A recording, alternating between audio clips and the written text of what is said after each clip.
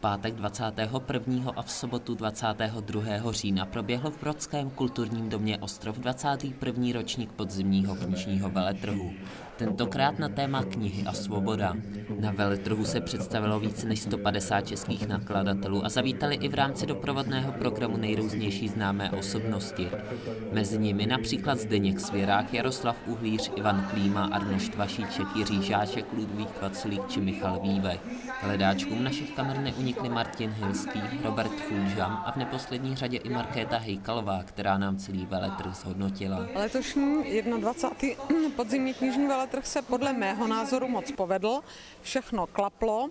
Eh, podařilo se i to, že veletrh byl poprvé trochu cizojazyčný. Jeho součástí byl festival knihy a svoboda, běloruští autoři, rakouští autoři. Toho jsem se bála, ale zbytečně, jak se ukázalo.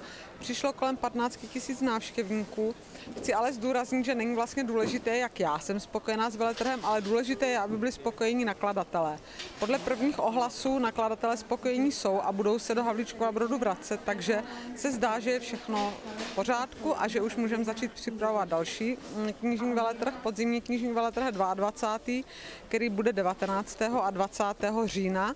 2012 a jeho motem budou knihy a sny. Martin Hilský, překladatel Williama Shakespearea, představil svůj kompletní překlad díla tohoto anglického autora. Je to kniha velká, já doufám, že v obojím smyslu, jednak je velká rozměry a je silná, má 1680 stran a představuje všechny Shakespeareovy hry, to znamená 38 her, sonety kompletní, dvě veliké narrativní básně Shakespeareovi, Venuša Adonisa Skruci a znásilnění Lukrécie a dále mystickou báseň jménem e, Fénix a hrdlička.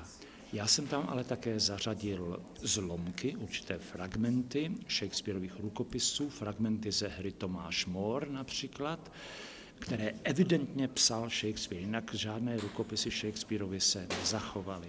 Veletrh navštívili nejenom české osobnosti, ale i několik zahraničních. Mezi nimi byl i americký spisovatel a filozof Robert Fulgham.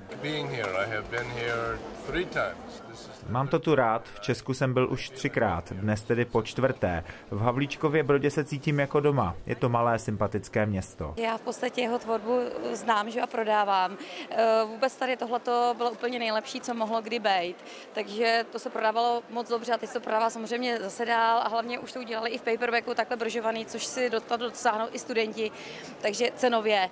No a tohle to jsem, vlastně to je novinka, že jo, a tu jsem teda přečetla, musím se přiznat, je to dva dny zpátky, jsem možná ostuda, nicméně mě to strašně uchvátilo, hned jsem to darovala, je to teda úplně skvělý boží. No, já jako čtu, ale ne až tolik a oslovila mě knížka, už jsem hořela, když jsem si do ní lehal od pana Fulčova. Tak ty knížky čtu, znám je už delší dobu, eh, je to zajímavý, je to vtipný, prostě nemá to, eh, není to žádný eh, psycho, psychologický krvavý, nic tam takového, prostě je to, jsou to věci ze života, co se dá prostě číst a člověka to osloví, zasměje se u toho. Letošní knižní veletrh si se skončil, ale těšit se můžete na příští, který se bude konat 19. a 20.